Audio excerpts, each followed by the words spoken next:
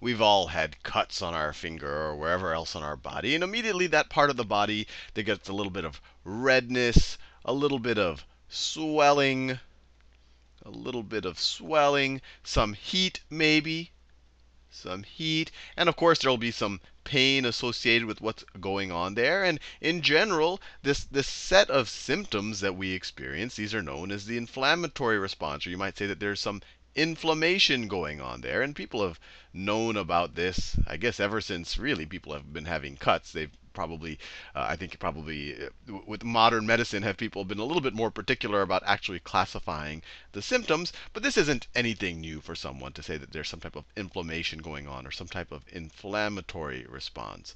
But what I want to do in this video is understand what's causing these I guess we could call them macro symptoms, what, what's happening at a cellular level. Because really, the inflammatory response is essentially the initial field of battle of our immune system. You know, our first line of defense is our skin or, our, or, or the fluids on the outside of our skin or the mucous membranes. But the infl inflammatory response is what happens when something gets beyond that. We get punctured with a nail or, or there's some type of virus or bacteria gets beyond our skin or, our, or, or, our, or the mucus that surrounds our membranes.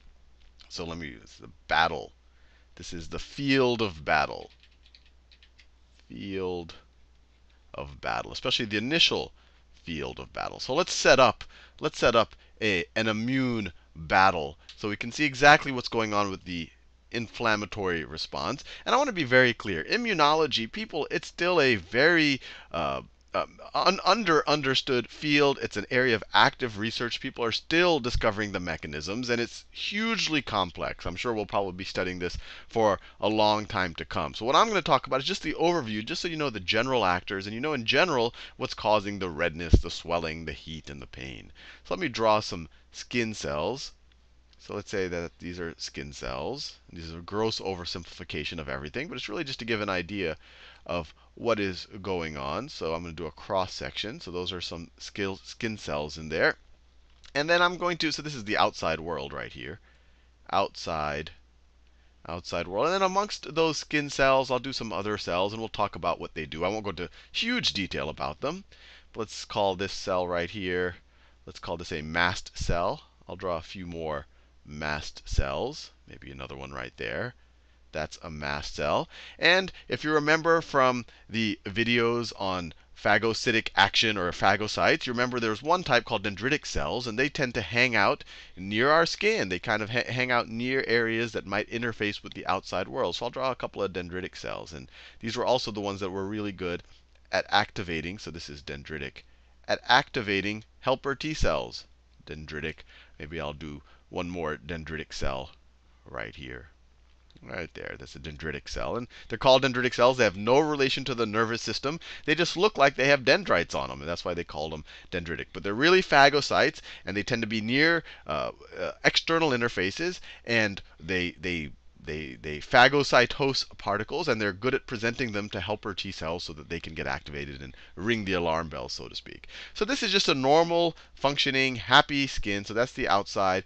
Over here, this is the interstitial fluid interstitial fluid. That's just a fancy word for the fluid that cells are kind of being surrounded by or that bathes cells. You know, uh, the cells aren't all directly connected to the circulatory system. The oxygen goes from the circulatory system to the interstitial fluid and eventually finds its way into cells. So it's not, you know, everything is directly co connected to capillaries, but Capillaries play a big role, our circulatory system, so let me draw that. Instead of just drawing them as tubes, I'm actually going to draw the cells of our circulatory system. So let's say that this down here, these are the endothelial cells of our capillaries. So these are literally the cells that make up the walls of our capillaries. Right there. Let's say that's one side, and let me draw the bottom side right here. These are the actual cells. And of course, this is a cross section. If I were to, you know, I would draw it as a tube somehow. This isn't, it's not like it's a sandwich, it's actually a tube. And obviously, everything is in cross section. So these are endothelial, endothe, endo. The spelling is the hardest part. Endothelial capillary, or may I say capillary, capillary endothelial cells. And of course, right in here, this is what we have our we have our blood flowing, and we'll have red blood cells in here. Maybe I'll draw a couple of red blood cells in here. These are red blood cells. Maybe they're flowing in that direction. On this side, they're oxygenated. This would be arteries, and then they'd become veins as the red blood red blood cells lose their oxygen. And of course, you might have cir circulating white blood cells inside of your obviously in, in, much lower quantity than your red blood cells, but just to show that they're circulating and they're moving with your circulatory system being pumped by the heart. Now, under normal circumstances, there is an exchange of, uh, obviously, of gases between what's going on in our circulatory system and the interstitial fluid. And there's also a, a mild exchange of, of some cells and proteins. But what we're going to see now is what happens when we have an intruder. So let's say someone takes a nail, dips it in some cow manure, and then pokes you with that nail. So let me let's let's see what happens. So this someone pokes pokes with a you know it's a big nail. You know these, these cells are so let's say someone pokes you with this nail, dipped in cow manure, so it's got all sorts of nasty, all sorts of nasty stuff on it, pathogens on it. Probably has a bunch of bacteria sitting in the cow manure. I didn't pick cow manure at random. It's probably a good source of bacteria. So as soon as it pierces the first line of defense, as soon as it pierces your skin, a couple of things are going to happen. A lot of these bacteria are immediately going to start floating around in your interstitial fluid. These the cells that it came in contact with, it pierced them. It probably killed some cells. It's also going to damage some of these skin cells. And those skin cells are immediately going to start releasing chemicals, the ones that are still in a position to do so. They're going to start releasing chemicals that are essentially chemical messengers that move through the well, at first the in, locally in the interstitial fluid and says something is going on, something has you know happened to me, and these are called chemokines. Chemokines. And chemokines are just a very general word, really, for small molecules or small proteins that cells release as a kind of signaling mechanism. Chemo for chemical, kine for kinetic, for moving. These are, these are messengers, they move. So these chemokines get released and this is all tremendously complicated. So I'm doing a you know very high level. There are many, many types of chemokines. And also you have these mast cells here. And these mast cells can be activated by direct contact maybe with the rusty nail. It could be from the chemokines released by some of these cells up here. It could be from some of the molecules released by the actual bacteria. These bacteria are also releasing, you know, different byproducts as they enter the body. And any of the above can, uh, can activate the mast cells, and mast cells release histamine. Histamine. So the mast cells release histamine. So I'll do that in that color. Histamine. So you can already appreciate I'm doing a high level overview, and it already is kind of complicated, but I think you get the sense of what's going on. And if the word histamine sounds vaguely familiar, it's probably because you've taken an antihistamine sometime, probably in the last several months, if you know, especially during cold season. Uh, histamine is what is, is kind of one of the main actors in the inflammatory response. And when you have a cold and a runny nose and stuffy nose and all of those type of things, those are all byproducts of the of, of, of the inflammatory response. And antihistamines essentially try to shut down that inflammatory response so some of those symptoms disappear. But you know, it begs the question of is that necessarily always a good thing? Because as I'm going to talk about in this video, this is the first line of defense. This is the first part of the battle of our immune system.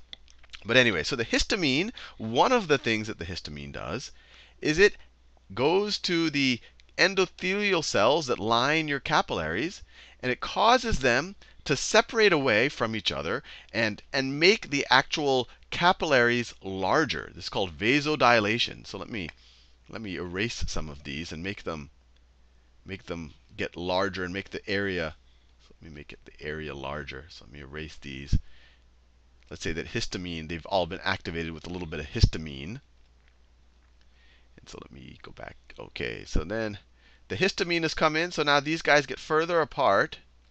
They get further apart, and the actual capillary becomes larger. So there you go. And then on this side, it's also going to happen. So this is where you get a lot of your swelling. Because all of a sudden the capillary is larger, more fluid, and actually it gets smaller further down. So it really it encourages the fluid to collect right around here. So this is called vasodilation. Just another fancy word for saying your capillaries are getting dilated or they're getting larger or fluid is filling them up. And not only is thing, are things starting to collect here, more and more red blood cells are collecting here, you know, obviously there's a lot of fluid here, the white blood cells, but also the capillary walls are becoming more porous. All of a sudden, things that couldn't get through them are going to have a much easier time getting through them. And one of those things that are going to they're going to have an easier time getting through them. And once again, remember all this other stuff is going on. You have these histamines that are, you know, being that are being dumped on these endothelial cells, and maybe some of it's getting into the serum. You have these chemokines you have these chemokines being released locally from this area of damage. You have the the actual things being oh the green was the color of the uh, of the molecules being released by the viruses. You have the chemokines which are in blue. They're all being released here. And your first and, and, and so the first responders, which we talked the, the phagocytes, and in particular the neutrophils, which are the most abundant of the phagocytes, a subclass of white blood cells, they're attracted to these chemicals. They're attracted, they, they want to move in the direction that there's more of these chemicals. And now that now that the, the space between these end these capillary cells have gotten further apart, they can get through. So what they actually do is, let's say that this right here is a neutrophil this right here is a neutrophil, they start kind of uh, rolling along the wall right here. That's called marginization. They roll along this wall and eventually, you know, so they, they kind of stick to the wall, they adhere to the wall, and then eventually they, they squeeze through they squeeze through these gaps in the capillary wall. This is called diapedesis or extravasation. Sometimes it's called emigration. These are all fancy words, but essentially it's just squeezing through the wall. So that's the neutrophil right there. And then, of course, uh, because of the vasodilation, this is where the neutrophils will be getting dumped in, and this is exactly where they're needed. So these neutrophils are going to be here, and then they're going to do what they do. They're going to phagocytose some of these bacteria and start eating up, and maybe even some damaged cells up here. And so that's what you want to happen. That's why I said this is the field of battle. At the same time, your dendritic cells, other phagocytes, they will they will eat up the viruses and then they'll present them on their surfaces. And it's not just neutrophils that are coming in because this is kind of an area of, of, of congestion in your in your you know all of the fluid is coming here. All, you'll also have uh, B cells and T cells. They'll also make their way. They'll also They'll also uh, uh, experience marginization where they roll up against the sides of the capillary and then diap, diap, diap, diapedesis or extravasation where they go through and then they'll be activated and they can actually do the specific immune system. So, so the whole point here is I wanted to show you, and this is why I delayed the whole video on the inflammatory response, because it isn't just some, you know, one type of simple thing. It's actually the field of battle where all of the actors come in play, even the first line of defense of your skin, and then all of the actors, the non-specific uh, reactions of, you know, inflammatory response is normally categorized as non-specific because it's going to happen no matter what comes. But the, you have the non-specific actors like the neutrophils. You have your specific actors like your uh, B cells and T cells.